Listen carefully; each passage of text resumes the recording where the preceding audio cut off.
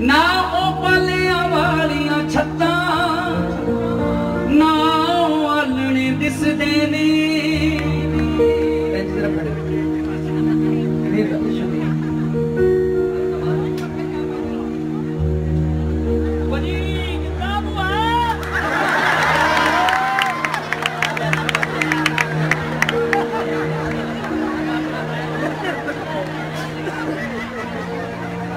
ਅਰੇ ਕਾਲੇ ਸੰਗੇ ਕੁੜੀ ਵੀ ਆਈ ਹੈ ਅੱਛਾ ਥੈਂਕ ਯੂ ਨਾ ਉਹ ਪਾਲਿਆਂ ਵਾਲੀਆਂ ਛੱਤਾਂ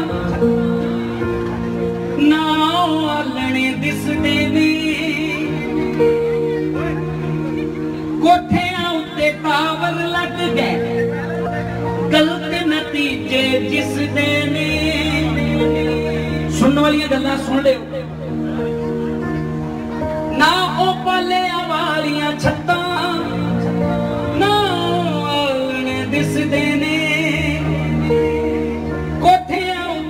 ਉੱਤੇ ਲੱਗ ਗਏ ਗਲਤ ਨਤੀਜੇ ਦਿਸਦੇ ਨੇ?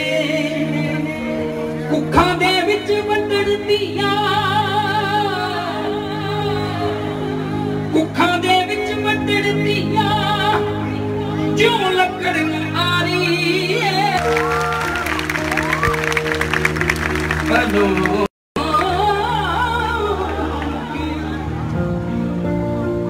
ਚਿੜੀਆਂ ਲੱਗਦਾ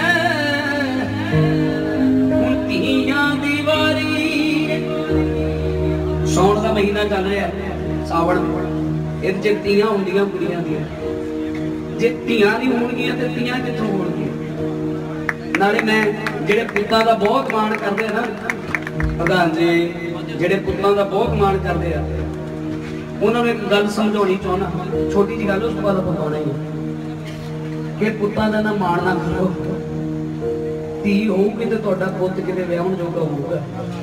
ਨਹੀਂ ਤਾਂ ਕੰਧਾਂ ਨਾਲ ਵਿਆਹ ਦਿਓ। ਦਰਖਤਾਂ ਨਾਲ ਵਿਆਹ ਦਿਓ ਕੁੜੀ ਹੋਊਗੀ ਨਹੀਂ ਤੇ ਆਪਣਾ ਪੁੱਤ ਤੁਸੀਂ ਬਾਂਦਰ ਨਾਲ ਵਿਆਹਣਾ ਦੱਸੋ। ਸਹੀ ਕਹਿ ਰਿਹਾ ਮੈਂ ਹਨਾ?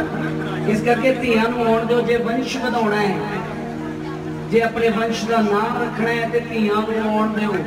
ਧੀਆਂ ਬਹੁਤ ਜ਼ਰੂਰੀ ਨੇ। ਆ